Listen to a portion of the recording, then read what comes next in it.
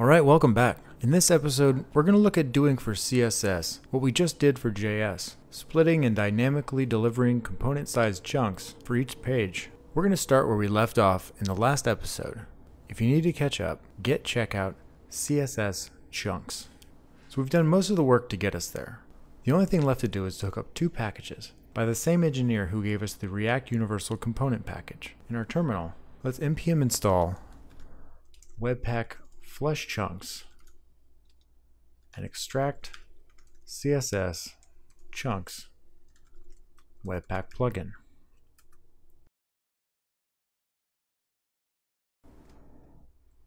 Okay, we're going to deliver the component CSS in tandem with the component JS. To illustrate, let's make a directory source CSS, and then we're going to touch source CSS about CSS. Now let's go into main CSS and take the profile here out of main CSS and we'll paste it into about CSS. Now let's import this file into our about.js.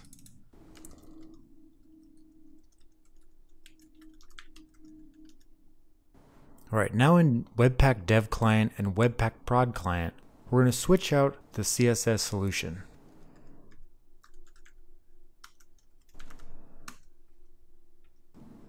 Alright, so now in Webpack Dev Client, let's require extract CSS chunks.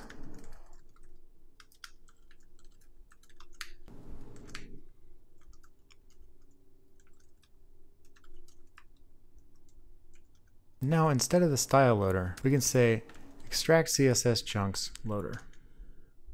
Finally, down here in the plugins, we'll do a extract CSS chunks and give it one option, hot true. Don't forget your commas. Now hot true is going to allow for hot module reloading in development. Alright, so now for the prod client it's going to be the same. Let's make sure we take out our mini CSS extract plugin. Down here in the plugins, let's do the extract CSS chunks with no options.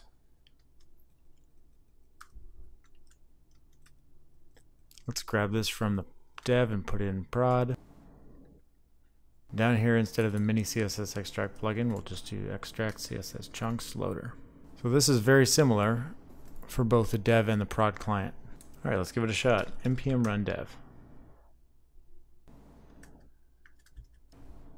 All right, we can see the CSS coming down. We need to hook up the Webpack Flush Chunks package. So back in render.js, let's import flush chunk names from React universal component slash server and we'll import flush chunks from webpack flush chunks. Alright, so now inside of this middleware function, we need to do things in a specific order. Flush chunks is going to give us the final link and script tags that we're going to need for our particular route. Before it knows how to do that, we have to render our routes. So we have to take this render to string, everything inside here, and cut it out. And type app inside there. Now let's create an app variable and set it to render to string. All right, so now that's been rendered and we know which routes we're using. So let's get those routes. We're gonna pull JS styles and CSS hash from Flush chunks. Now flush chunks needs two things. It needs a stats file from Webpack. And we don't have that yet, but we're going to pass it in in a second. The second thing it needs is an object of options. It wants to know the chunk names. And it's going to get that from flush chunk names. Which we imported right here from React Universal Component server. So if this is run after this is run, we're good.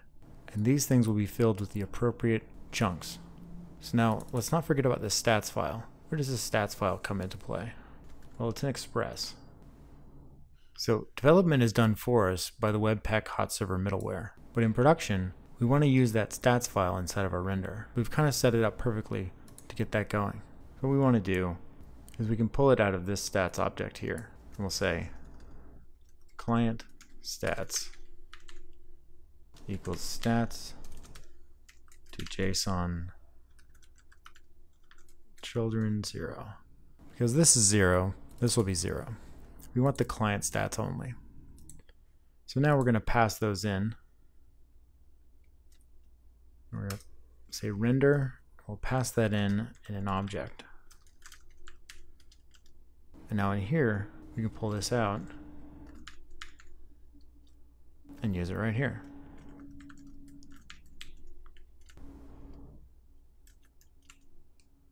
So the last thing we need to do is we need to use these three variables inside of our template. So instead of main CSS, let's just put styles. Instead of these two, we'll put JS and CSS hash. I'll show you what CSS hash does in a second. So if we came in and created new CSS files, say article CSS and gallery CSS. Let's restart the server. All right, you can see that they're being rendered. They're not being rendered yet uh, because we haven't imported them into the appropriate component. Let's do article here. And we'll do gallery as well. All right, so this is going to rebuild. So now we have about, switch to article, we have article. Gallery, gallery comes in. We reload. It's kind of funny. You can you can see there's no H1 styling here on gallery either, but then once we hit about, the H1 styling kicks in. It's kind of cool. All right, so last thing I want to do is I want to add a bit of logging to our production output. So we're running the Webpack function, we get the stats. So now we can console log the stats. You want to say to string this time. And inside there we'll do one option, which is colors true. So stats has a to string and a to JSON. It's kind of cool. So let's do npm run prod. Nice, now we have our output.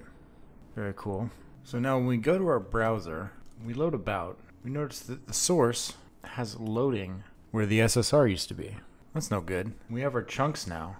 We have our CSS hash, everything is defined in here, but now our SSR isn't working.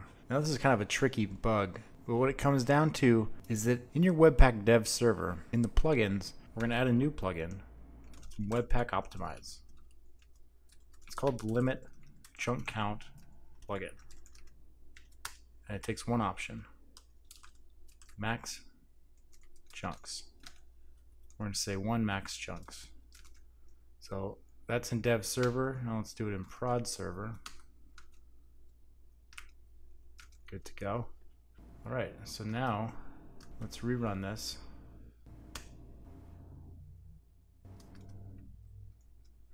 And now when we reload, you see we have our SSR again.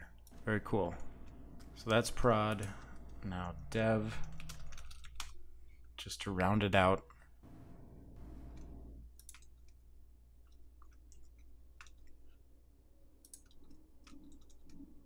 So that works too. So let's go back to dev for a second, delete that. We'll rebuild here. And now we can see loading once again. So the limit chunk count plugin is very important for SSR. All right, sweet. So now we have everything we need. We have a full working server-side rendering, chunk splitting, badass boilerplate that we've made ourselves. We should be very proud of this accomplishment. This is very cool. So that's it for this section. In the next section, we're going to put all of this to work by enhancing our blog site with a multi-domain feature. So we're going to have multiple different blogs for different domains up here in the URL. I can't wait for that section. Uh, it's definitely the point and purpose of this class is to get to a point where we can run multiple apps on one process using many domains. It's a great way to start off your company. If you need the final code for this, git checkout CSS chunks final. All right, I'll see you in the next section.